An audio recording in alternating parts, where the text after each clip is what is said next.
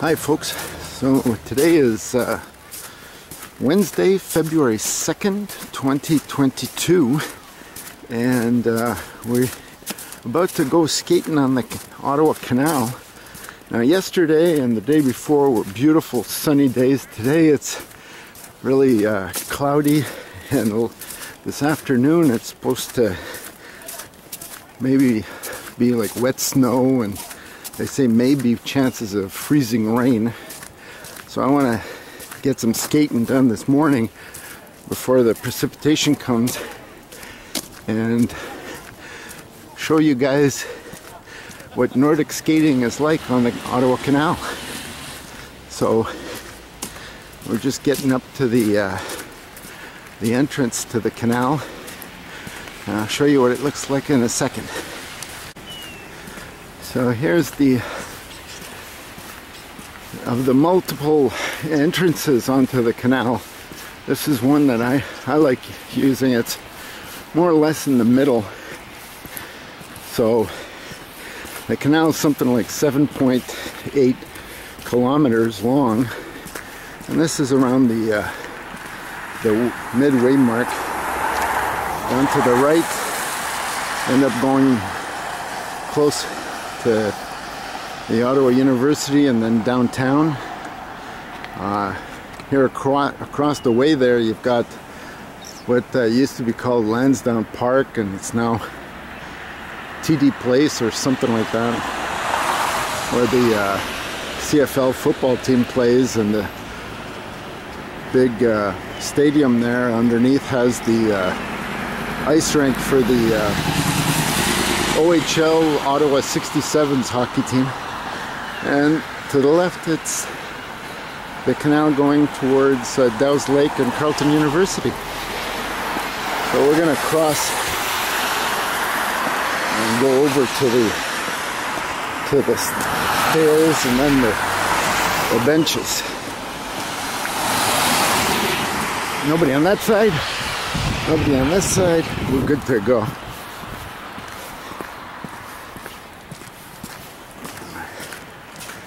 So today they say the conditions on the ice are is fair. It's about minus one degree, so it's uh, probably a little on the soft side, but that's okay. Nobody's, very few people are on it right now, so it's not all hacked up yet.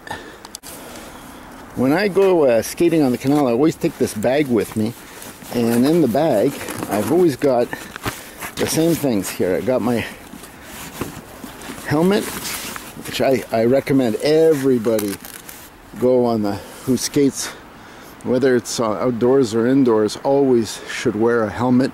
Unfortunately, I, I think many people don't, and it's uh, it's a safety issue, you know.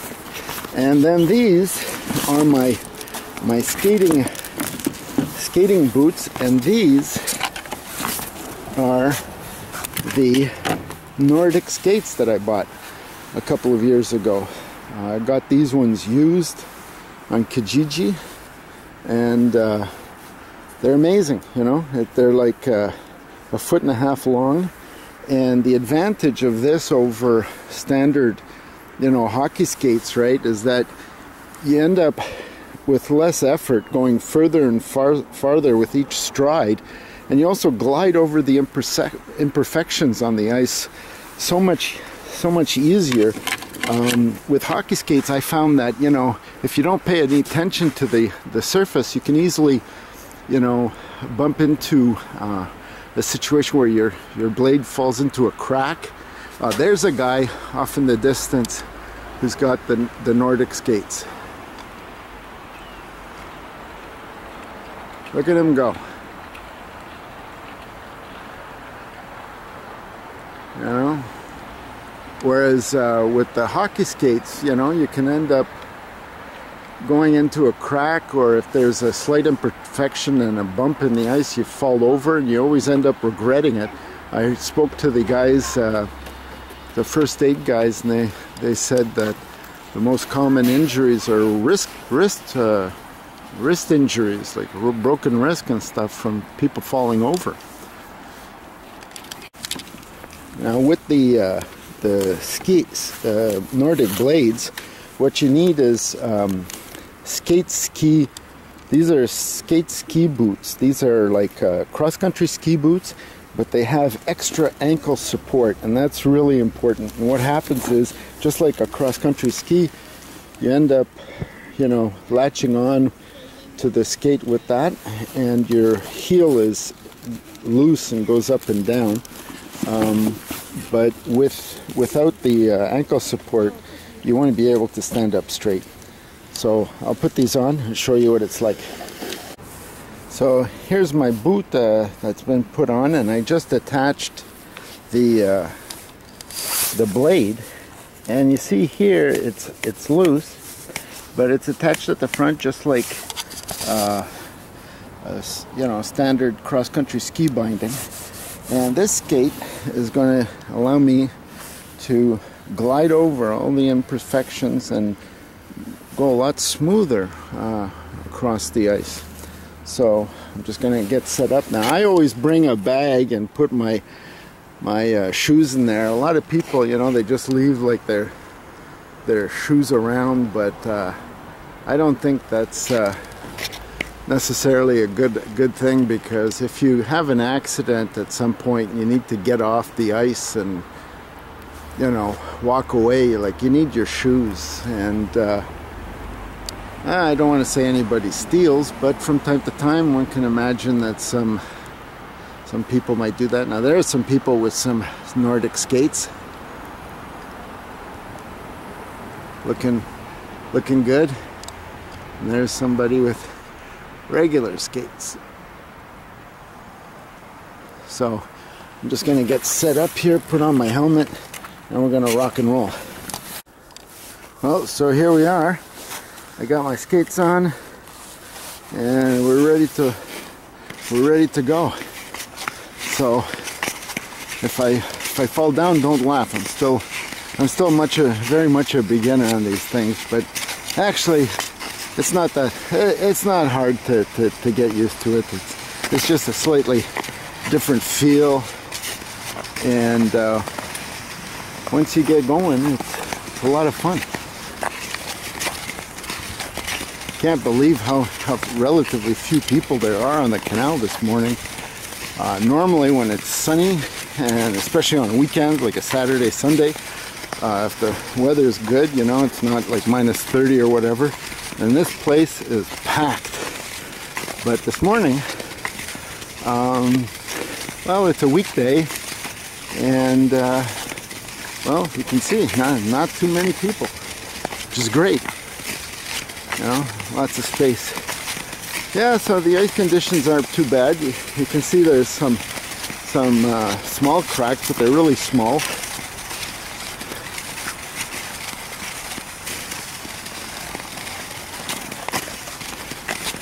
What a beautiful view.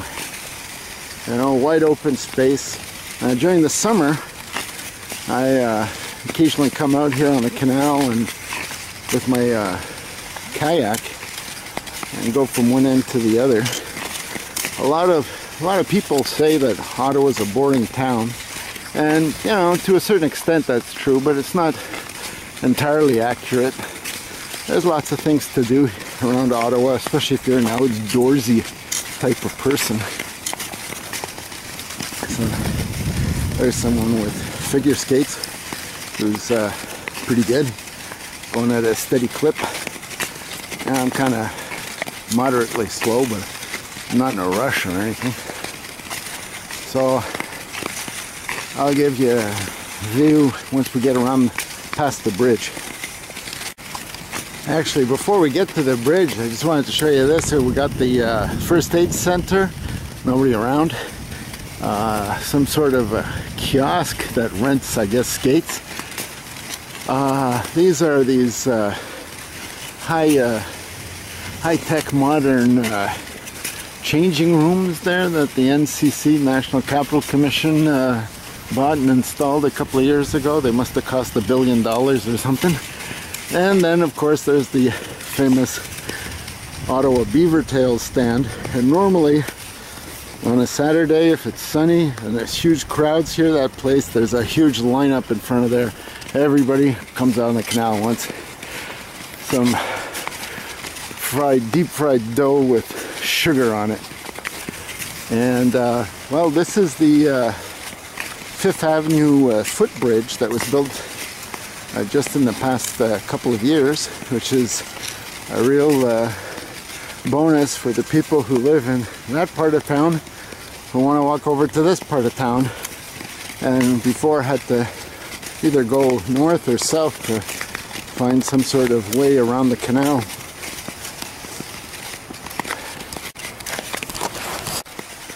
So we passed the Fifth Avenue Bridge and we're moving on towards downtown. But here we've got this little uh, bridge on the Glebe, Glebe side. This is called Patterson's Creek. And during the winter or the summer, there's a nice uh, dock there where you can, you know, launch your a canoe or a canoe, kayak. But uh, during the winter, it's a, another place where people can walk down to the ice level and put on their skates. So there's a there's a bridge and uh, after that it's uh, closer to Centertown. So this is what it's like skating on my with my skates there. Okay.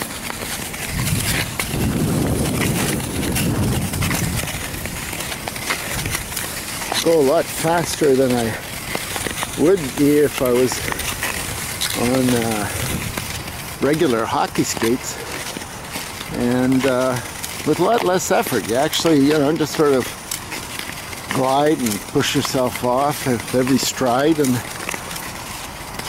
it's pretty good, you know, compared to the old skates I used when I came out here.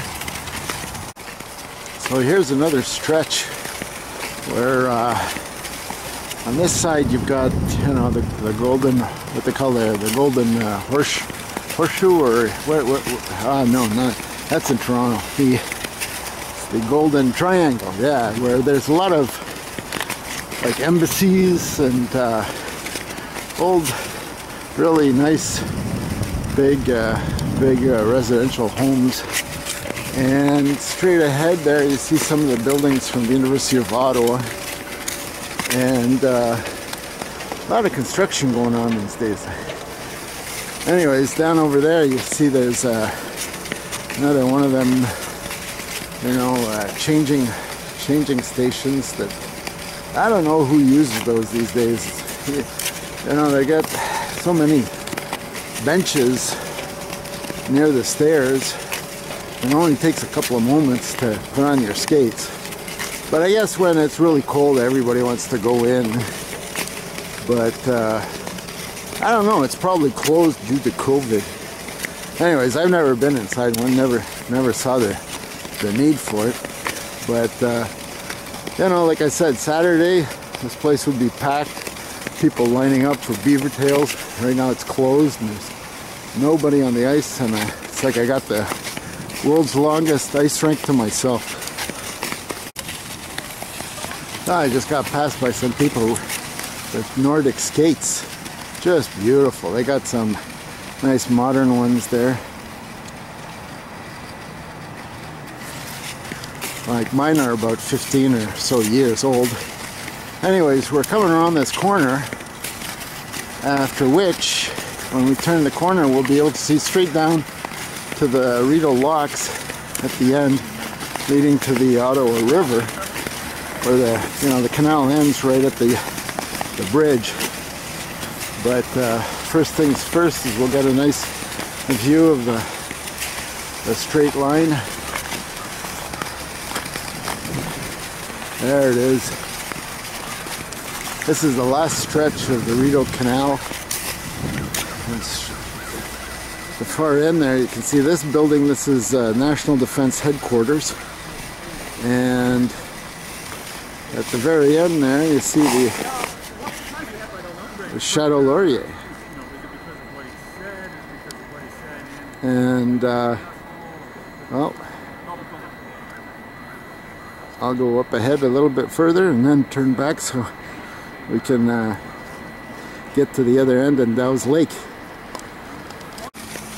So now we're turning around and uh, heading heading south from the downtown area past uh, the Golden Triangle to uh, well we're gonna pass the Glebe.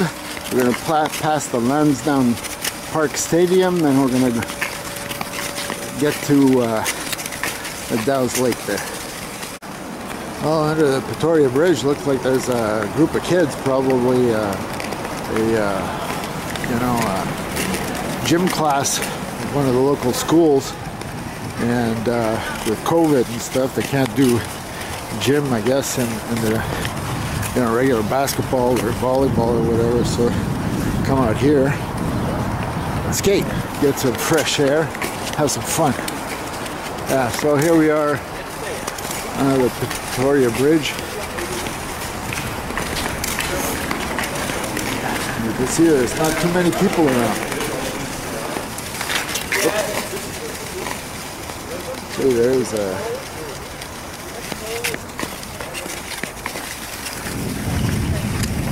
couple of people. And that's it. So there off in the distance is the Fifth Avenue Bridge. There's a nice wide stretch here in the canal.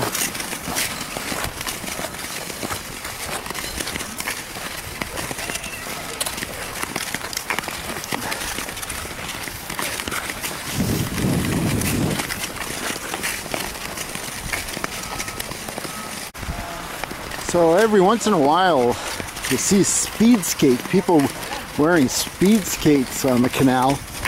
And uh, I've been asked, you know, what's the difference between Nordic skates and speed skates? Well, they've got the same length blade, and obviously speed skates are designed for, for racers to have speed. On the canal, it's uh, benefit of speed skates is the longer blade, just like with the Nordic blades, you know, allows you to to glide over the slight imperfections a lot smoother than with the shorter blades of a hockey or figure skate. Um, but many of the old old uh, uh, speed skates have a, a boot like a hockey skate that's attached to the blade so the heel doesn't lift up. Now the more more modern ones do have that feature with a spring you know, to snap it back into position once the blade's off the ice. But um, I think that those that are attached to the uh, the boot, attached to the blade, uh, might be a little bit more tricky to uh, to sort of control uh, as you're skating because it's easier if the tip gets caught in a rut or something to tip over. Now, there's two Nordic skates. Beautiful. Ah, I love those. And, uh, well, you know, I mean, I've never seen anybody uh, with them on the ice uh, with the, the speed skates on the canal fall, but I'm, I'm not, not familiar with you know what they feel like but it just seems to me that it would be a little bit more tricky than uh, obviously a uh, hockey skate uh, and uh, you know you'd have a little bit I guess less flexibility because the heel doesn't doesn't uh, you know isn't attached like on a on a Nordic blade.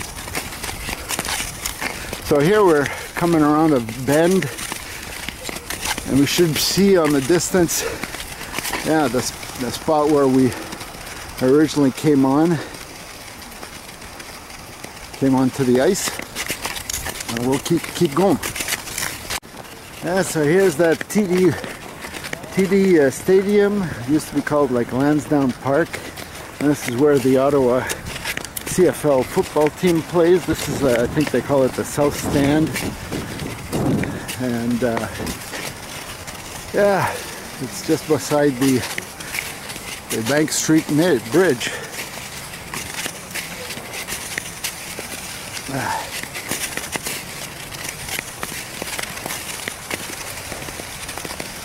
Ooh.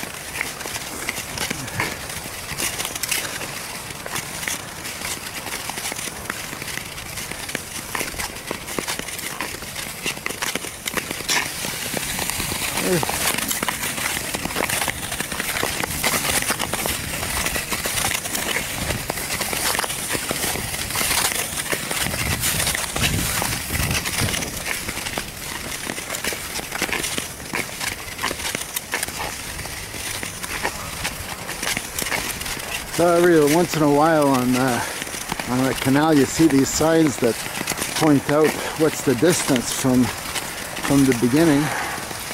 So here's a sign that says we're 4.4 kilometers from the uh, the downtown beginning of the, the canal. So we'll keep going. And uh, I think the, the whole canal is 7.8 kilometers, so got a little little more distance to go.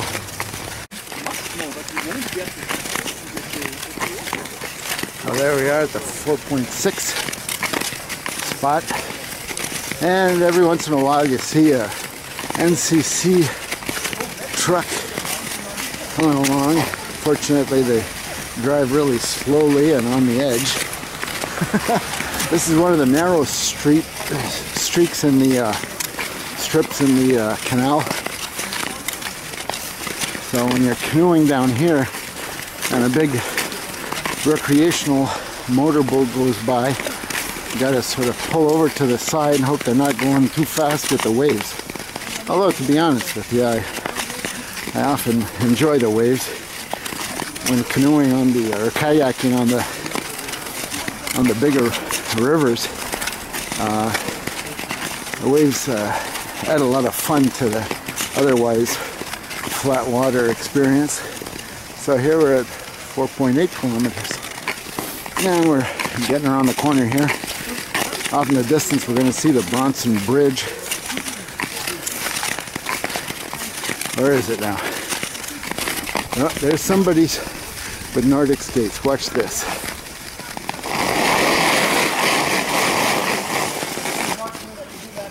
Yes, I could, but still no, no worse.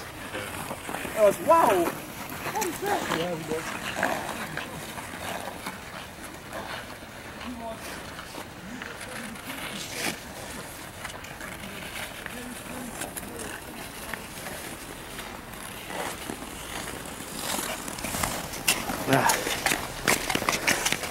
Well, that guy has his system down pat, down pat, and he's turning around the corner, and we're, oh, there's another one. Yeah. And all over the place, these Nordic skates. See, years ago, I didn't know what that was. Now I'm, I'm one of the biggest fans.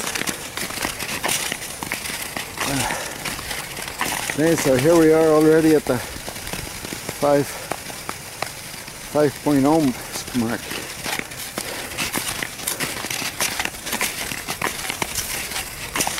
Ah, there it is. There's the Bronson Street Bridge. And beyond that is Dow's Lake. So here we are going underneath the, uh, the Bronson Street Bridge. And uh, off in the distance, straight ahead there, you can see the Arboretum, which is a big park. Nice place to walk around during the summer. Winter too, I guess, but during the summer there's dogs off leash all over the place in that place. And uh, this is uh, Dow's Lake. So what happens here is we've got this wide open space and there's a big stretch that's uh, that goes to the pavilion which during the summer is where they rent uh, paddle boats and canoes and kayaks and there's some restaurants and stuff there. But uh, during the summer or winter you've got a, a strip strip of, in the middle of the the lake that goes to the uh, to the pavilion and back, and then it the rest of the way goes around the corner there to the left towards um, Carleton University. So let's just skate up here and see what it's look looks like. Over here you see there's the, the beaver tails again. And probably, you know, if there wasn't COVID and if it was a nice sunny day, certainly on the weekends, this whole area is just full of people. But it's uh, first thing in the morning on a weekday and uh, best time to go skiing. So here, here you see there's a strip this way right in the middle of the lake that goes to the to the pavilion and then there's this strip coming back. So that adds another kilometer and a half or so probably to the to the distance. And here we are. This is the uh, the Parc Arboretum that I was talking about. And we're getting close to the last the last curve and the canal.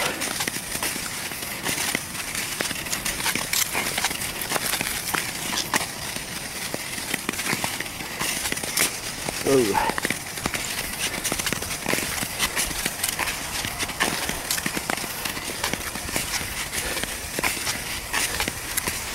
there's a, a sign that says we're at, uh, where is it?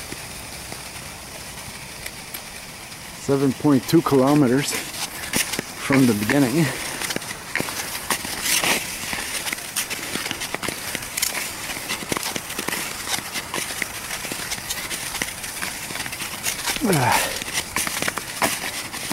And here's the last stretch of the canal. Right up to the lot, dot locks is the Rideau Canal.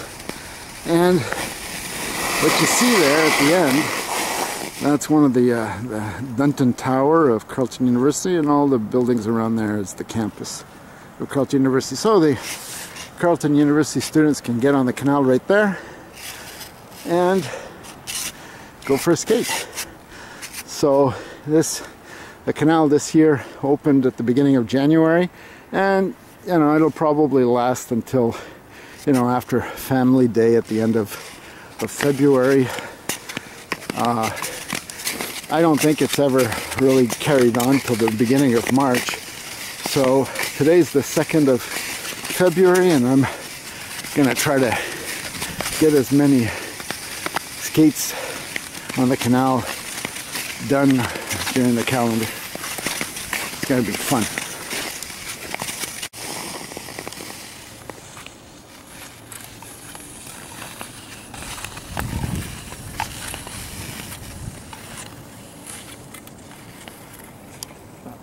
Another. Uh, here we are at the uh, leaving the uh, Dow's Lake and about to go underneath the Bronson Street Bridge where the NCC has post, posted this sign that this is the world's largest skating rink. La plus grande patinoire du monde.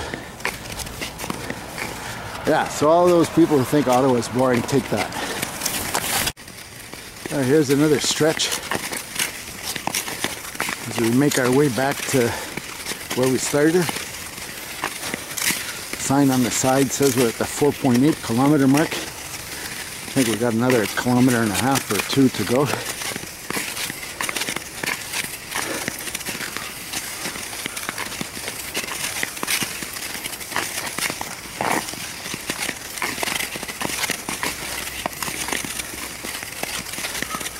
Look at this. Hardly anybody on the canal. This is unbelievable. I love it when this happens. Nice and quiet, you know. And it's about it's 9.30, 9.35 on a Wednesday morning. Hey, know, everybody's hard at work. That's what it, that's what it is. Hard at work. Yeah. I love being retired. so there's the Bank Street Bridge up ahead.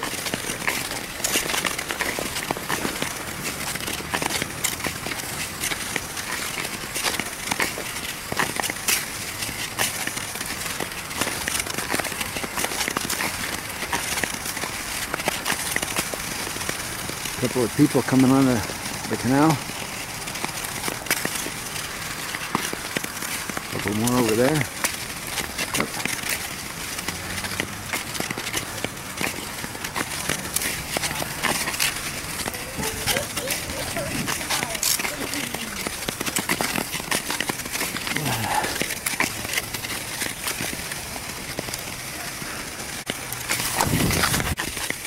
So coming up to the place where we left off. So that was basically uh, a skate on the canal. I guess I did about uh, over s- five, maybe five and a half, uh, at least five kilometers this morning.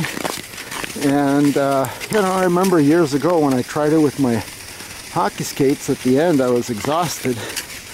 But with these Nordic skates, I uh, go a lot faster uh, with uh, what seems to me to be less less eff- uh, exertion.